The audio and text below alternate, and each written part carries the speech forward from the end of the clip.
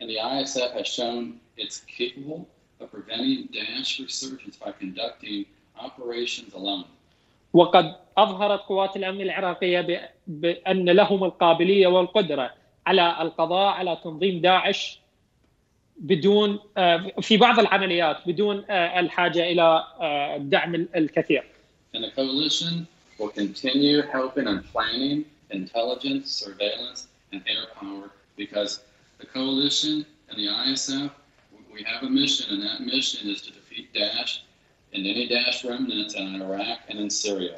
وأن قوات التحالف الدولي مستمرة بتقديم الدعم من ناحية التخطيط والاستخبارات والدعم الجوي لأن قوات التحالف ملتزمة تجاه قوات الأمن العراقية وسنشاركهم بالعمل من أجل القضاء على تنظيم داعش في العراق وفي سوريا.